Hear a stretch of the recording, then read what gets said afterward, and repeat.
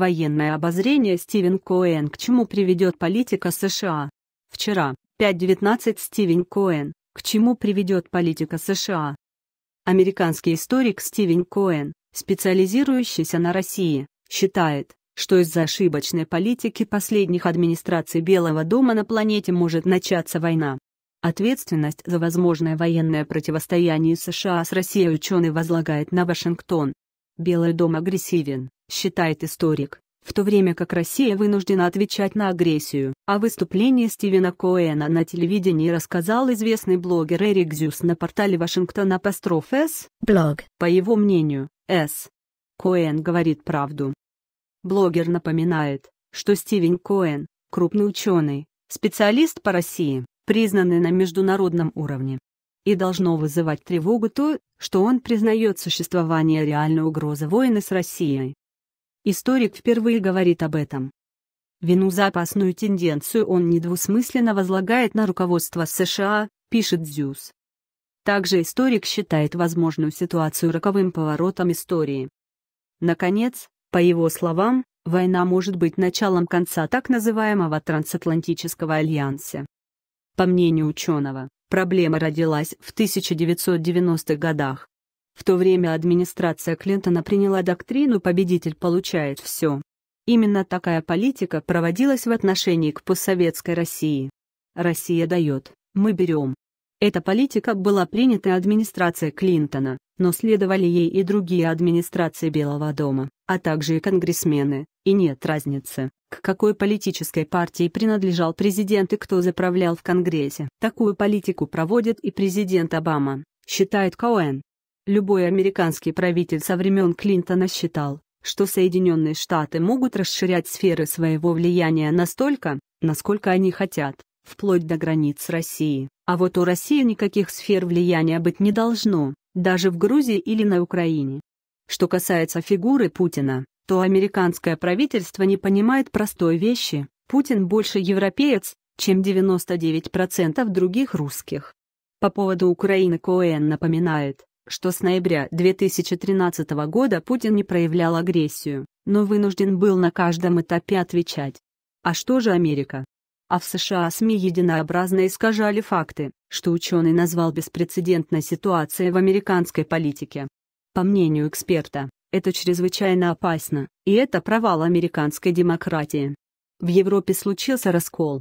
Политики там уже признали, Крым не вернется к Украине, как бы настоятельно к тому не призывал Киев. Далее историк резко раскритиковал Обаму, отметив, что прежде никогда не слышал от американских президентов на публике личных замечаний в отношении российских лидеров. Что касается существующего на Украине правительства, то это не демократический режим. И если Запад не прекратит поддержку Киева, безо всяких оговорок, то, сказал Коэн, я боюсь, что мы сдвинемся в сторону войны с Россией. Вот это да, за главными буквами вывел блогер Зюс. Это действительно доказывает, насколько встревожен историк.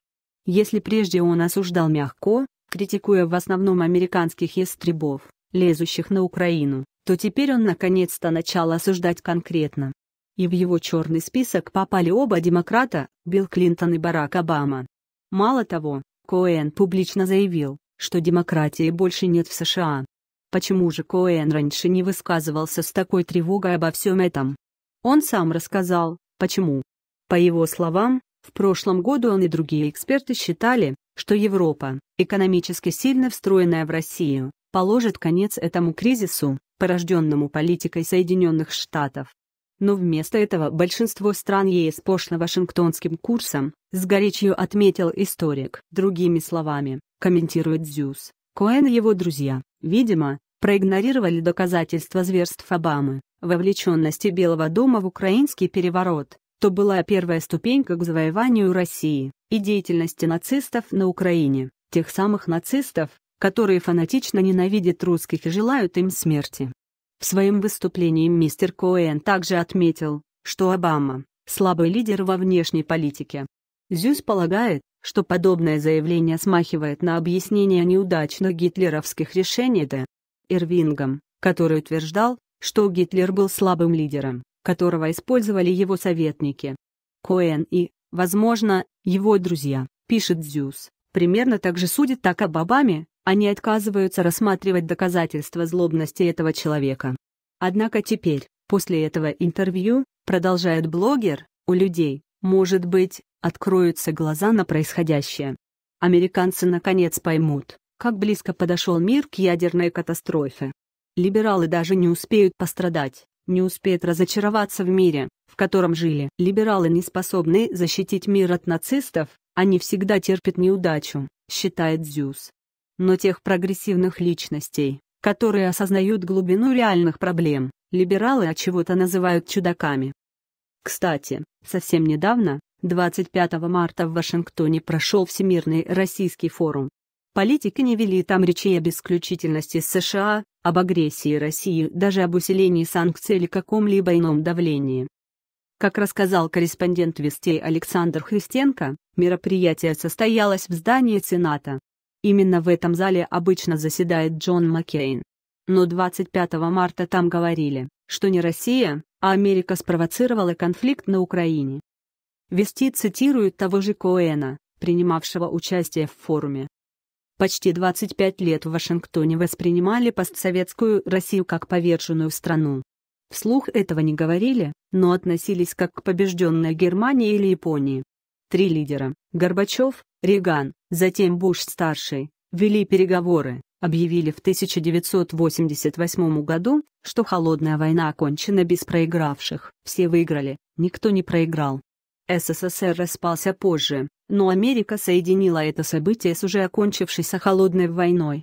И вскоре, в январе 1992 года, президент Буш-старший объявил, что США выиграли холодную войну. Более того, осталась единственная сверхдержава в мире – Соединенные Штаты Америки.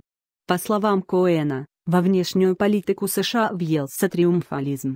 Отсюда и попытка навязать в отношениях с Россией неравные условия. Москва должна уступать за спасибо. Шла речь и о расширении НАТО. Корреспондент приводит слова Теодора Постола, профессора Массачусетского технологического института. «Я в чем-то понимаю русских, что они беспокоятся об окружении странами НАТО», — заявил он. «Я, американец, не стал бы мириться, если бы Россия попыталась сделать то же самое с США. Я говорю как человек, который занимался военным планированием. В этом случае я бы советовал своему политическому руководству не допускать этого. Почему же русские должны с этим мириться? Постол, ранее работавший в должности советника начальника штаба военно-морских сил США, убежден, наращивать точки соприкосновения военных потенциалов двух государств чрезвычайно опасно. Итак, в США растет число прогрессивно настроенных товарищей, не желающих допускать не только войны между США и Россией, но даже самой мысли об этом. Другой вопрос, услышит ли их призывы мистер Обама, человек, которого иные американские журналисты называют злобным. И еще один вопрос, пойдет ли Обама на попятный или будет тянуть волынку с санкциями до конца президентства. Ведь признавать ошибки – это мучительно трудно. Особенно те, которые совершил сам, а не допустила предыдущая республиканская администрация. Обозревал и переводил Олег Чувакин, специально для Top War.ru